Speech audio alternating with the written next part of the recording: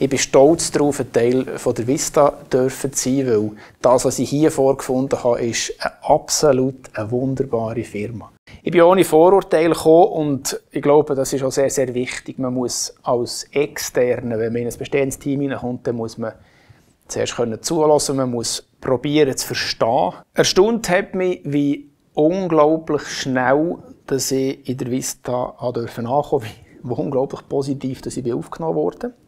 Wir sind eine Gruppe in der Vista, das ist ganz zentral. Und wir müssen schauen, dass wir Diskussion oder Diskurs äh, unter den Regionen verstärken. Wir haben alles, was es braucht, für erfolgreich zu sein in der Zukunft. Ich glaube, wir haben die richtigen Leute, wir haben das Know-how, wir haben eine wunderbare Firmenkultur und wir agieren in einem Markt, der interessant ist. Es ist nicht so, dass es immer weniger zu tun wird in der Ophthalmologie.